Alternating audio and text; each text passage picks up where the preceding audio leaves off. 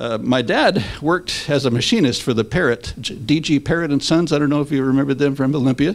Uh, they were on, I think, Fifth, Fourth Avenue, uh, kind of diagonally across from where Bayview Thriftway is now, I think, if I remember right. I was pretty little. In fact, I wasn't even born when he worked there, but uh, it used to be located there. But he was the one that got to see President Truman drive by in a convertible in Olympia, and so that was the only time he got to see a a real famous person live like that, like a president.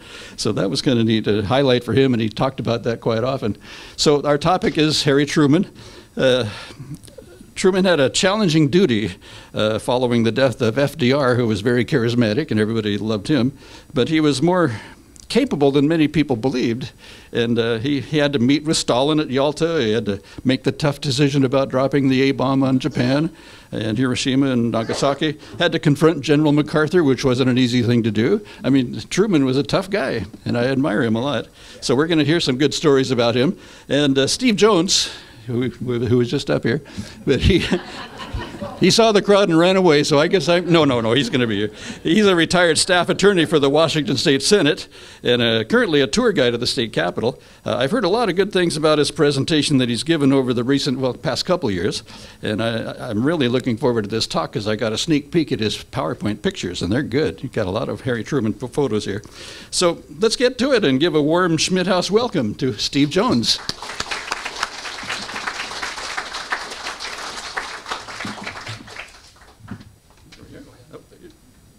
Thank you, Don. Thank you, everyone. When Don told me that uh, we'd probably sell out today, I was more than a little skeptical, but I'm not skeptical any longer. can everyone hear? I've never been accused of having a soft voice. Everyone, okay. If not, just start waving. So, yeah. So I worked in the legislative building, our state capitol building, for 40 years on the staff of the state senate. And during that time, I had heard some stories from some folks I knew about Harry Truman's visit to our capital. And then three years ago, I retired and began my second career as a once a week tour guide, a volunteer in the Capitol building. And in the training for that position, they explained to me that the state reception room, that grand, luxurious room with the Italian marble and the luxurious appointments, the most formal room in the building, designed by the architects for Uh, receptions and formal ceremonies that the last president of the United States to be received in the state reception room in our Capitol building was Harry Truman in June of 1945. And so I was curious as to why Harry was here, what he did while he was here, and curious about exploring some of the stories I had heard because I was a little skeptical as to whether they were true or apocryphal. So, just for my own interest, I started poking around the state library and the state archives, and they referred me to the Truman archives, and this story kind of fell in my lap. And uh, so, I hope to share it with you. I think it's an educational, informative, but I also think it's uh, has some uh, entertainment value to as to it as well. So this story is going to take some twists and twists and turns. It's not going to follow a straight path. It's going to be a bumpy ride, so fasten your seatbelts. so we're going to start with President Harry Truman. And we're going to start on that fateful day, April 12, 1945. Harry Truman was vice president. He woke up in the morning. He had the same breakfast he had every single day bourbon and bacon.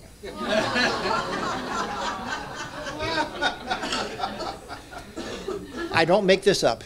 He headed over to the Capitol where he spent the day presiding over the United States Senate, performing his constitutional duties as the presiding officer. And at the end of the day, he was where he could always be found at the end of each day during his tenure as vice president, having drinks in the office of Speaker Sam Rayburn. A phone call came in. Harry was wanted at the White House. His security man had gone home for the day, so the vice president drove himself over to the White House and was escorted into the private quarters where he was met by First Lady Eleanor Roosevelt. She sat the vice president down and said, Harry, the president is dead. Harry had no idea. He was shocked.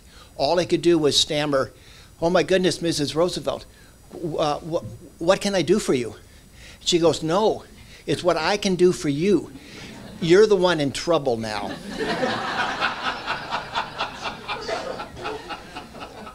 the, first, the first order of business was swearing in the new president. There was a small problem. They couldn't find a Bible. Harry wanted to use his grandfather's Bible, which was back in his office in the Capitol, at the, in, the, in the Senate, but there wasn't time to retrieve it. They scurried around, and finally, the chief usher of the White House found an inexpensive Gideon Bible in the bottom drawer of one of the dressers, and Harry was sworn in on that Bible. As you can see from this picture, it was not a happy occasion. Harry is here with his wife and his daughter. The president had just died. It was a very glum day. A few minutes after being sworn in, Secretary of War Henry Stimson swept into the room, took Harry aside into a private office, closed the door, and said, Mr. President, I need to inform you that the United States has developed a terrible weapon. No one had ever informed the vice president of the atom bomb and the Manhattan Project. It was complete news to Truman. Very, very few officials knew. A well kept secret. Secretary of War Stimson said, Mr. President, it will soon be your decision whether to use this weapon, where to use it, and when to use it. It was at that moment the full weight of the presidency fell onto the shoulders of Harry Truman.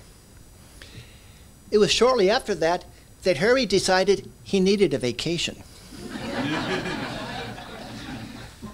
so, a few weeks later, June of 1945, the scene changes to San Francisco and the great San Francisco Opera House, where the World Peace Conference had been convened. Delegates of 60 nations were in San Francisco to draft the original charter for a new organization to be known as the United Nations. Harry Truman, President of the United States, was scheduled to give the closing address to that conference. So he was going to travel all the way across the country. So he said, if I'm going to go to San Francisco, I want to make a stop along the way. I want to stop in Olympia, Washington. He knew the conference was in good hands because it was being chaired by a young assistant secretary of state, a, a, surrogate of Harry Truman's, was handling the affairs in San Francisco, so Harry didn't need to worry about what was happening. The conference was in good hands. And we'll hear more about this gentleman, this young assistant secretary of state, in a few minutes. So, why did Harry want to go to Olympia, Washington? And the reason is our governor, Monrad Wallgren. Monrad Wallgren had served as a congressman in the U.S. House of Representatives and in the United States Senate before becoming governor. In fact, he still is the only governor the state of Washington has ever had that served in both houses of Congress in Washington, D.C. And they were fast friends, good buddies in Washington, D.C., particularly over the poker table and Harry Truman wanted to visit his old buddy, Monrad Wallgren. Mon Wallgren was a, uh, an optometrist by profession. His father was a jeweler, ran a jewelry store in downtown Everett. So when, when Monrad Wallgren got his optometry license, he opened up his practice in his father's jewelry shop. So it was sort of one stop shopping. It was before we had Fred Meyer. You could go in downtown Everett on Main Street and you could go in and get a new diamond engagement ring and a new pair of glasses at the same time.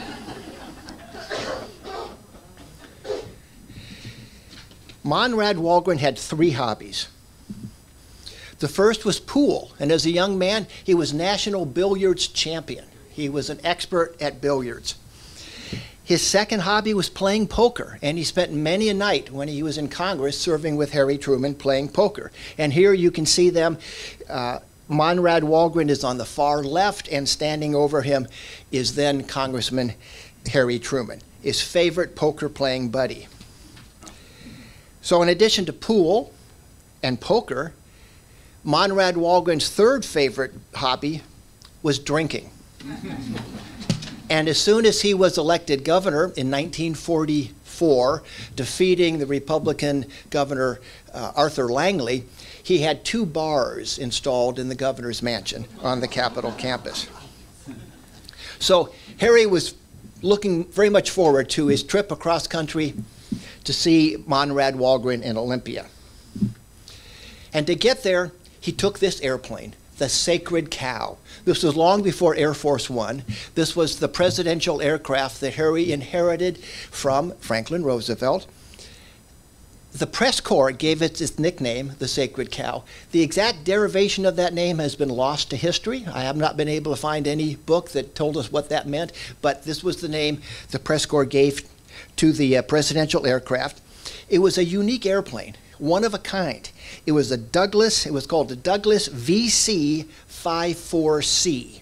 It was a purpose built plane Douglas took a smaller fuselage because the president did not travel with a large entourage back then, but he needed to go long distances at high speed, so they married the smaller fuselage to a larger pair of wings and engines. And so a unique aircraft. And this airplane is currently sitting in the U.S. Air Force Museum in Dayton, Ohio, and it has a very warm place in the hearts of Air Force veterans because later in his presidency, Harry Truman sat in this airplane when he signed into law the legislation that created the United States Air Force out of the old Army Air Force. Army Air Corps, thank you. You were there.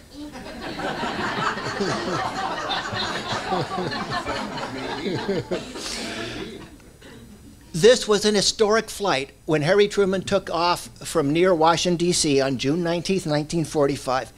It was the first cross country trip by any president. Now, Roosevelt had taken this plane to Europe for some of the uh, uh, conferences the, towards the end of World War II, Potsdam, etc. But this was the first president to fly across country. Now, this plane had some unusual features. It had a large picture window so that the president, whether Roosevelt or Truman, could sit at his desk and look out this picture window at the awaiting crowds on the tarmac. But most importantly, the public on the tarmac could look up and see the president sitting at his desk. This plane also had a very unusual feature. It had an elevator that could be lowered out of the belly of the plane underneath the wings down to the ground so that President Roosevelt could enter and leave the plane in his wheelchair without being seen. He did not want to be publicly seen in his wheelchair.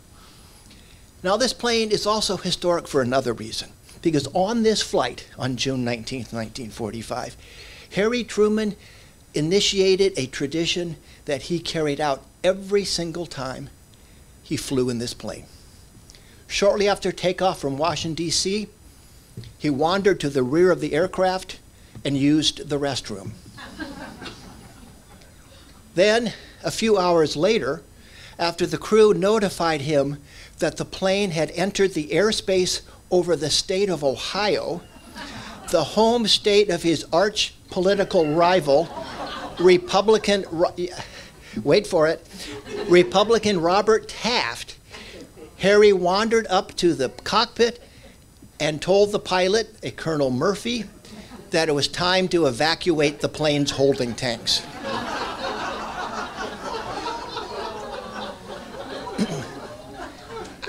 I don't make this up.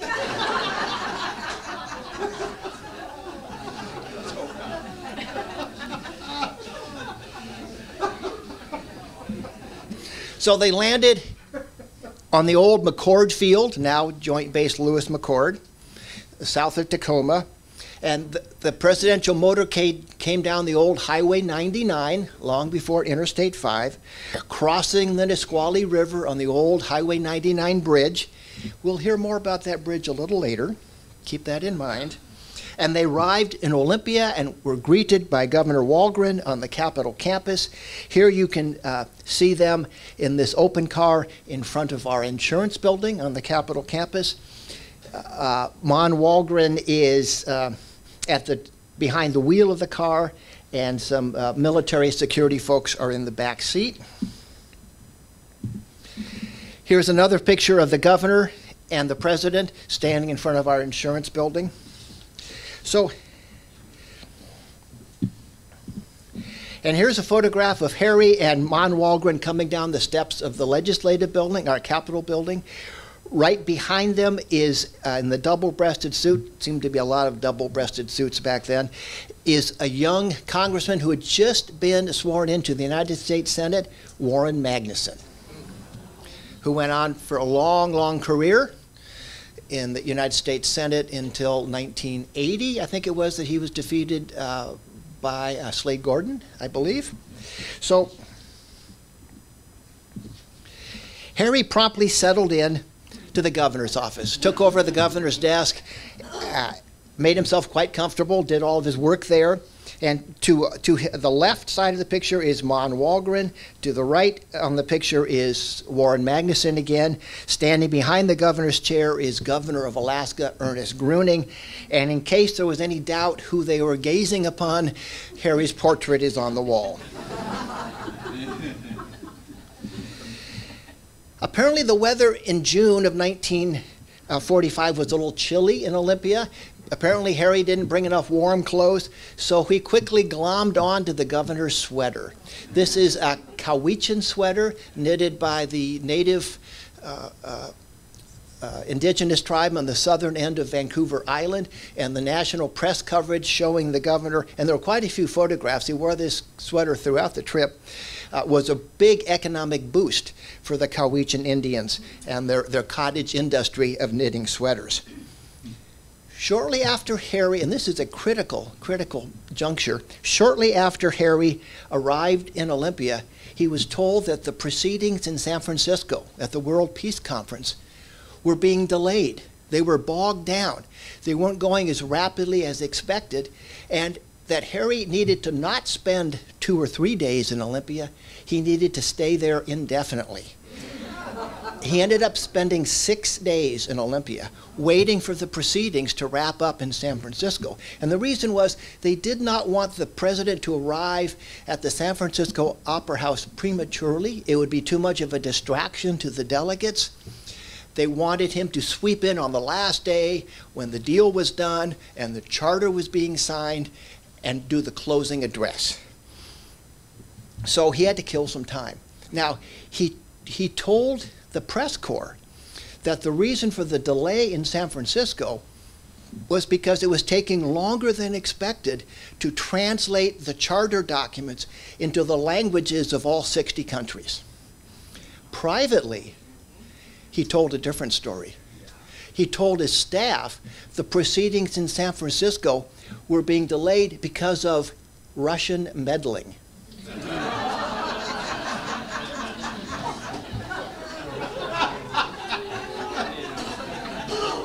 That sounds familiar, doesn't it?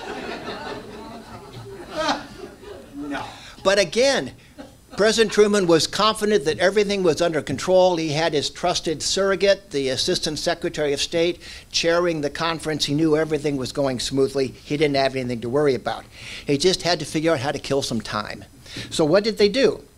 Well, they had a medal ceremony on the steps of the Capitol building where Harry put a medal around the neck of a young soldier from. Uh, I believe, the Bremerton area. Bainbridge Island.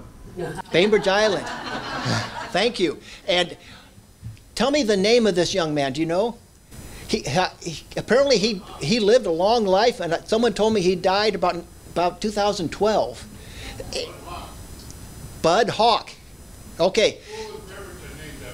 There's a school in Bremerton, and that comes from a reliable source former Secretary of State Ralph Munro, who I believe is probably somewhere in this picture.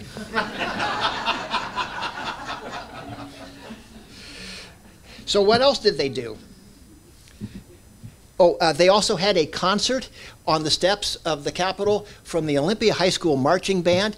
At that time, some of you folks may remember, Olympia High School was right across the street.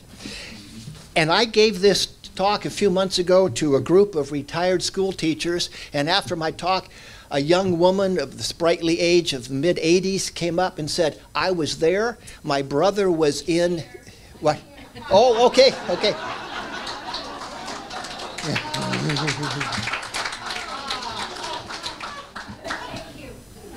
and uh, I. Your brother was the drum master, and your name is Briggs? Lily Briggs, and Lily went home and sent me a, a nice CD and some photographs of the band and uh, uh, performing on the steps of the Capitol.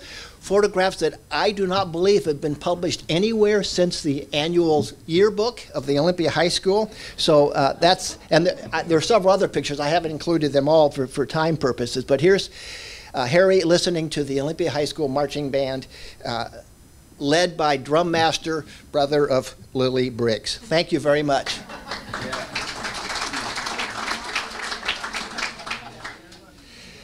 So, what else did they do?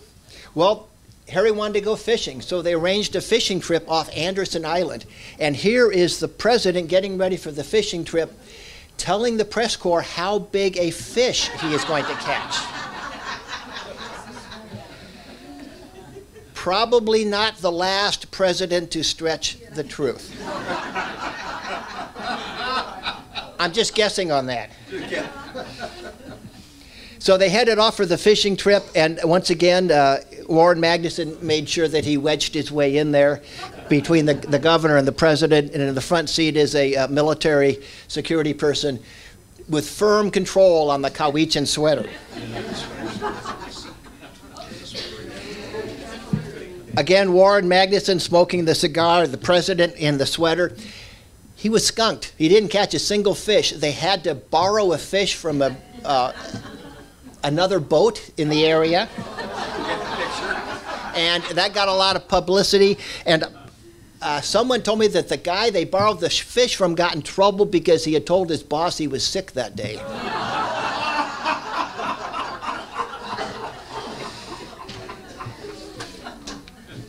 They took a motor trip up to Mount Rainier on another day to kill some time. Harry was thrilled because they let him drive the car. And that was a rare occasion for the president. He played the piano in the lobby of the uh, uh, Paradise Inn. The piano is still there. It survived the recent remodel. So they had fun up on uh, Mount Rainier. Uh, a photo of Mount Rainier and also the fishing trip. These last four photographs are from Life magazine. They had a two page spread. It was a big deal for the governor to go on vacation during wartime. So it got a lot of national press. So one of the wonderful things I found in exploring this story were the Truman archives. And they have online Harry Truman's desk calendar showing what he did every minute of every day during his presidency who he met with, what meetings he went to, what ceremonies he participated in. Very thorough diary on the website of the Truman Library and Archives. But there are two days that are completely blank Saturday and Sunday, that he was in Olympia June 23rd and 24. There is no historic record of where he was those two days. But we have a pretty good idea where he was because we have an eyewitness. And here's the background to that story.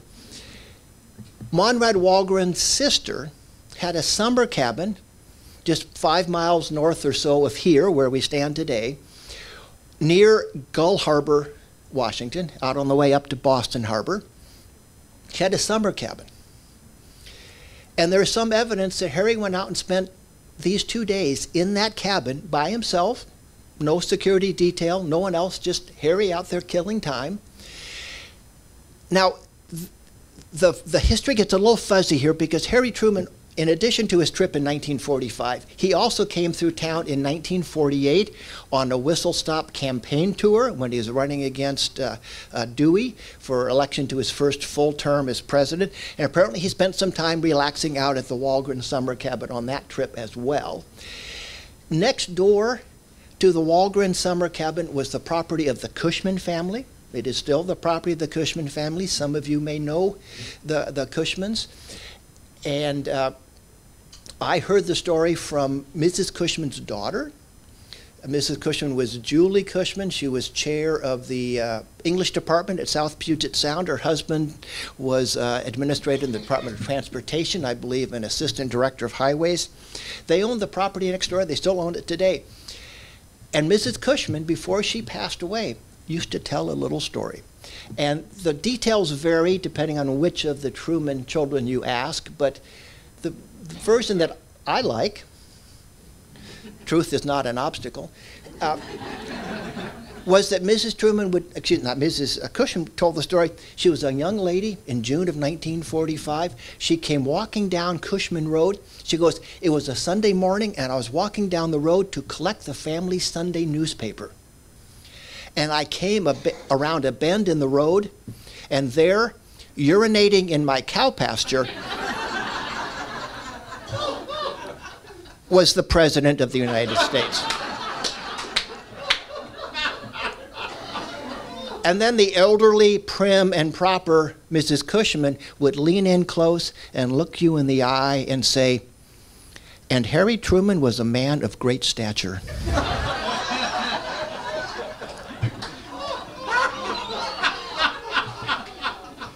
I'm not making this up. so that concluded Harry's trip. The next morning, Monday morning, he went back up Highway 99 across the old 99 bridge on the Nisqually back to McChord Field, got on the plane, and flew to San Francisco. But this is where the story gets really interesting. Here's Harry sweeping onto the stage of the San Francisco Opera House to give the closing address to the World Peace Conference. And he's being greeted in this photograph by the young man, the young Assistant Secretary of State, who was chairing the conference and, in fact, was elected the first acting Secretary General of the new organization, the United Nations. Oh, I haven't told you what this gentleman's name was. His name was Alger Hiss. Now, obviously, some of you recognize that name, not all of you do. It was not a household name in 1945, but it became a much more prominent name three years later in 1948 when a disheveled Time magazine editor named Whittaker Chambers testified before the House Un American Activities Committee that in the 1930s he, Whittaker Chambers, had been a courier for the Communist Party in Washington, D.C., and his job was to ferry documents between Alger Hiss and the Soviet embassy.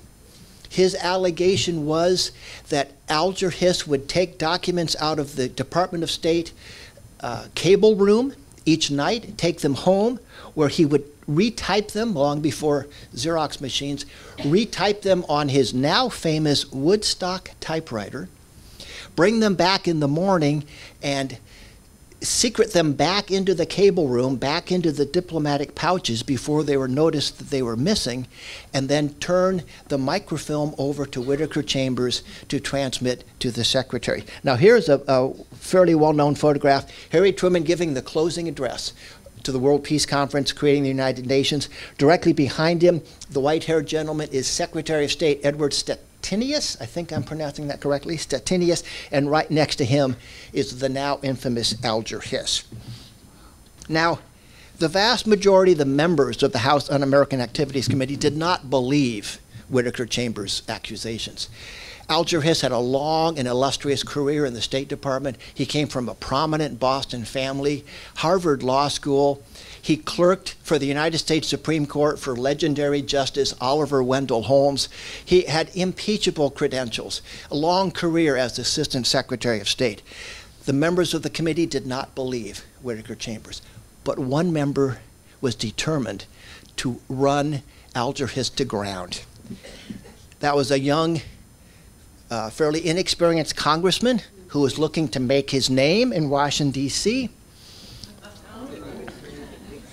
Richard Nixon was determined to prove that Alger Hiss was a lifelong Soviet spy. He told Whittaker Chambers they needed hard evidence, they needed a smoking gun, they needed proof. So Whittaker Chambers told Nixon to come out to Westchester County, Maryland, and he brought with him his committee uh, investigator, Robert Stripling, seated here next to Nixon. It's the committee staff that always gets the goods. and Whittaker Chambers took them out into his, his a, he had a small farm, a hobby farm, took them out into his pumpkin patch, pulled the lid off a hollowed out pumpkin, and retrieved 13 canisters of 35 millimeter microfilm of documents that on forensic examination proved to have been typed on Alger Hiss's Woodstock typewriter. And here is Stripling and, and Nixon examining what became very quickly known as the Pumpkin Papers. Alger Hiss was indicted for perjury for his testimony in front of the uh, House Un-American Activities Committee. It brought Nixon to national attention. And Dwight D. Eisenhower was running for president. He was being accused by the Democrats as being soft on communism. He was looking for a running mate that would bolster his reputation as a strong, ardent anti communist. So he selected the young Richard Nixon as his running mate. And as they say, the rest is history. So that concludes our story of Harry's historic holiday in Olympia and the unusual historical threads that run through that visit. But I'd like to end with one small epilogue. Whatever happened to Monrad Wallgren? Well, I told you he was elected in 1944 by defeating Republican Arthur Langley. Langley came back in 48 and returned the favor by defeating Monrad Wallgren became governor again, our only governor to serve two non consecutive terms. So suddenly in 1948, Monrad Wallgren was unemployed. He needed a job. Who did he turn to? Of course, Harry Truman. Harry appointed Monrad to the National Security Resources Board, which was a big deal back then. This was a board charged with allocating the, score, the scarce resources coming out of World War II. You know, there was a lot of rationing in the war. And it was a very important board. The United States Senate declined to confirm Monrad Wallgren, despite the fact that he was a former senator. They didn't think he had any qualifications to serve on this important board. He had no experience, no professional uh, uh, background in this area. They did not confirm him. Truman had to withdraw the nomination. After an appropriate period of time, Truman then appointed Wallgren to the Federal Power Commission. He was promptly confirmed because of his background as governor of Washington and Washington's role in the Great Pacific Northwest hydroelectric grid. He was confirmed to that position. He served several terms. He became the chair of the commission and he retired from the Federal Power Commission in 1951 and retired back to Washington, where he maintained a home both in Olympia and in his hometown in Everett. And it was on July 8th, 1961, while traveling between his two homes from Olympia going north up to Everett, he was driving across the old Highway 99 Nisqually Bridge, the same bridge that brought Harry Truman to Olympia on that June 19, 1945. Monrad Wallgren came across a young nurse in a disabled vehicle he got out of his car and was directing traffic around the nurse's car when he was struck by a drunk driver. He lingered for 13 weeks and died on September 18th, 1961, and he is buried in the Everett Cemetery. So, on that sad note, I will conclude my remarks. I hope I provided some education as well as some entertainment. And I, the theme of this is that when you start pulling on our local historical threads, as you all know who've attended these lectures in the past, it's amazing what things are connected to it and the colorful history we have here in Olympia and Tumwater. Thank you all for your attention. Thank you for coming out today.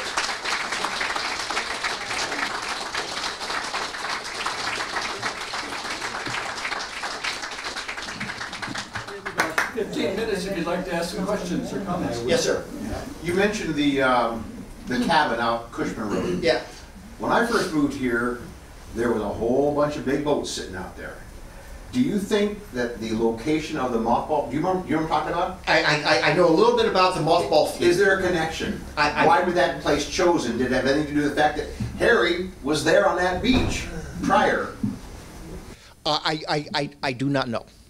I can make something up if you'd like. Uh, uh, I, I, I think it may just be a coincidence that Wallgren's sister had a cabin there. Because obviously he was there because of the connection to Wallgren. But I, I, I do remember, I've seen a lot of pictures of the old mothball fleet, yes. That's another lecture. Yes. Did Truman ever visit the Hanford site? Someone asked me that just the other day, uh, and, and said, uh, I, uh, the question was, was Truman ever visit the Hanford site, which was part of the Manhattan Project? And uh, I mentioned just a few days ago to a friend that I was giving this lecture about this 1945 trip, and they said, is that the time he visited Hanford? So I, I don't know the answer to that, but I, I, I've heard something to the effect that he did at some point during his presidency. What, what, when was the bomb dropped? Was that before this trip or after? It was after this trip, I believe it was in September, just a few months later. August, August. I think the first was in August and the second was in September, I believe. Okay, both. Sixth and ninth, okay, okay. We- We have some eyewitnesses. Yes. Yes, go, go ahead. Any, any chance that that cabin fishing thing with the president all by himself was fabricated, so in fact he did travel over there? Oh, that's a good one. Yeah. I suppose it's possible. I suppose it's possible. The cabin is still there, and in fact, the, uh, the, the cabin is now owned by one of the Cushman sons. And I just It's still wondered that, that Cushman one was fabricating other parts of the story that she told as well. I don't know. Could be. Just. Could be. So, yes, Tony. Any, any poker playing uh, stories while he was here, since that was a big uh, Uh, part of his entertainment and, and his link to the governor? Uh, we know he played poker with the governor while he was here several times. Uh, we're, I, I'm not aware of any particular stories that came out of those poker games. So, if there's nothing else, thank you all once again for coming.